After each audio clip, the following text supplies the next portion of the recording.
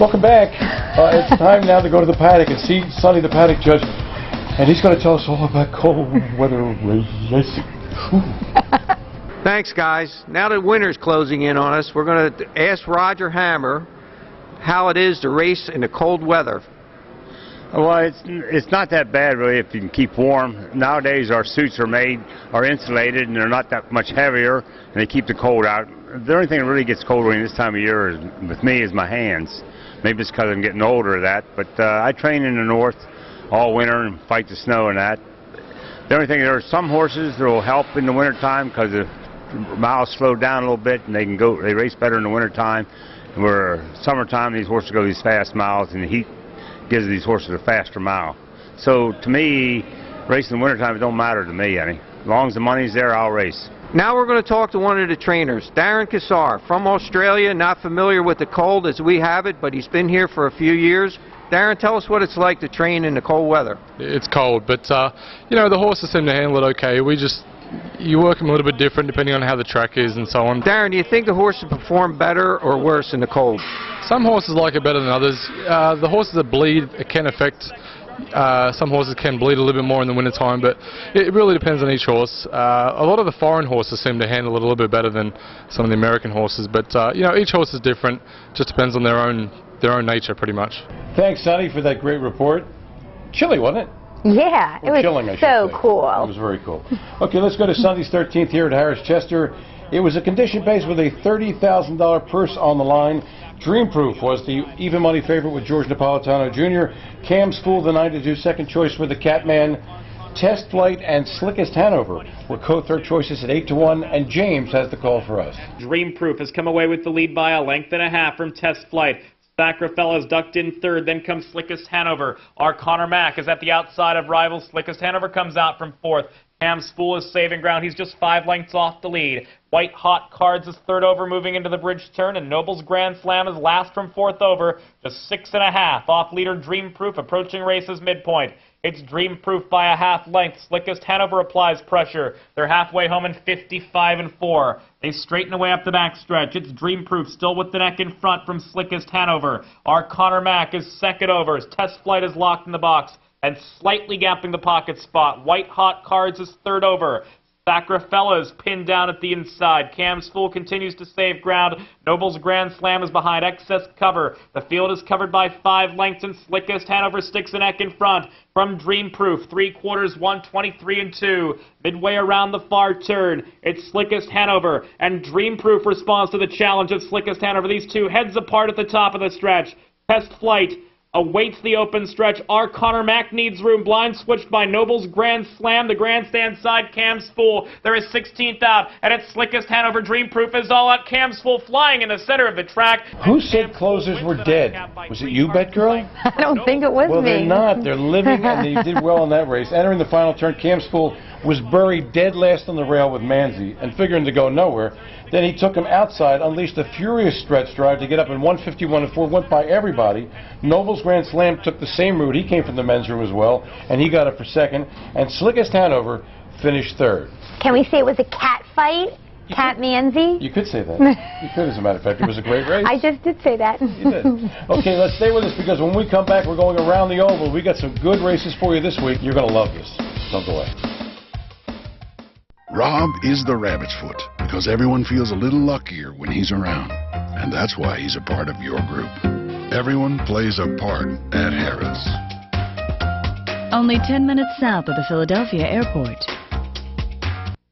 It's Mac Lobell, and he's pouring it on. It's Niatross by four, and he's going away. The Harness Racing Museum and Hall of Fame, a place where heroes come to life, preserving harness racing's treasured past while promoting its exciting future. And now get ready to harness your excitement with the thrill of Harness Racing's 3D simulator. The Harness Racing Museum and Hall of Fame now offering free admission. Bigger, better, bolder than ever. Hi, everybody, and welcome back. Well, last week at Woodbine, you saw the elim of the Governor's Cup. It promised to be a contentious race in the final. It didn't disappoint, and with that, here's Bet Girl. yeah, first of all, check out the better's choice, and that's dial or no dial. Also, Nebuchadnezzar and Art Colony won their eliminations last week. So, let's see the race. All right. So it's Art Colony taking his lead to the far turn. Right there from second is Major In Art. Two likes back at the rail third now to Amazon Art. Another two likes back at the inside fourth is Dial or No Dial. Nebuchadnezzar has yet to see the rail. He's still advancing and he will catch cover. Talented cover at that. As Dial or No Dial is out of fourth and on the rated first over gain here for Sears. As the field moves around that far turn, Art Colony still up front. Right there, second Major In Art. And they blaze past three quarters in 123 and 1. Coming into the stretch now, Art Colony still up front. Pocket pulling, here comes Major and Art on the outside. Then back in third is Dial or No Dial. An explosive leg kick coming for Nebuchadnezzar off a helmet. Art Colony kicks away by two lengths. Nebuchadnezzar closing up on the outside now. Nebuchadnezzar trying to run down Art Colony as they come into the final 16th. Waples working, Conrad closing, Nebuchadnezzar on the outside. Art at the rail gave it up in the last stride. Nebuchadnezzar wins by a head. Nebuchadnezzar. I don't know how he wins, but he does. That was amazing. I would have totally Spite of that been fired, you know, if I was the driver on that horse, because I don't know how Steve Condren kept him going, and then they win right at the final never saw the stride. rail. Never saw the rail. That's right. And he closed like a ton. Yeah, wins in 151 and 2. That's amazing. And Art Colony was second. Major In Art was third. If you're wondering, the favorite, Dial or No Dial, ended up being fourth in that race. He was. I thought he was going to be the, the choice in the race.